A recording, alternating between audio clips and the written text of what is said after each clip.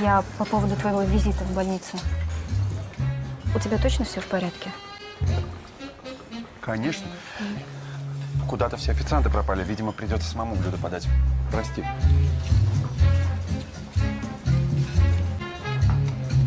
Чё? Молчит. Жаловаться не хочет. Камень.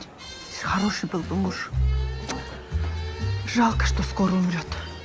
Мой тебе совет – бросай его, пока он жив. А потом тяжелее будет тебе.